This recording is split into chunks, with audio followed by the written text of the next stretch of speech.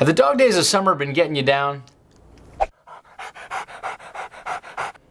Well, here's a quick and easy cocktail that you can make in batches for you and your friends to help beat the heat. Sorry guys, none for you. To build your Orange Julius, you'll start with six ounces of concentrated orange juice.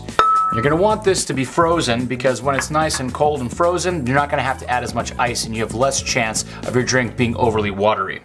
Next, you're gonna add one and a half cups of ice, third of a cup of sugar, one teaspoon of vanilla extract,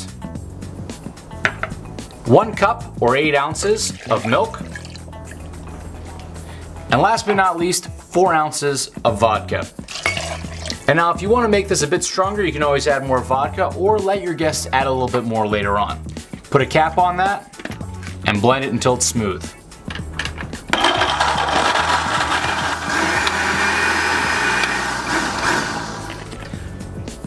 Pour the boozy orange Julius into the glass of your choice. And just in case you have any bits of ice still at the bottom, at first you're going to want to be careful how you're pouring.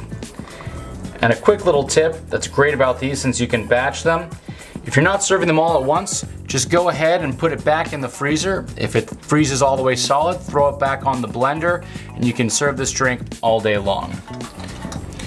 Add a straw of your choice and you are good to go. Cheers from Drinks Made Easy. And please remember to always drink responsibly because everybody likes to make friends. But no one likes to make them in a prison shower. We're gonna need to do another one of that. That was perfect. No, it wasn't.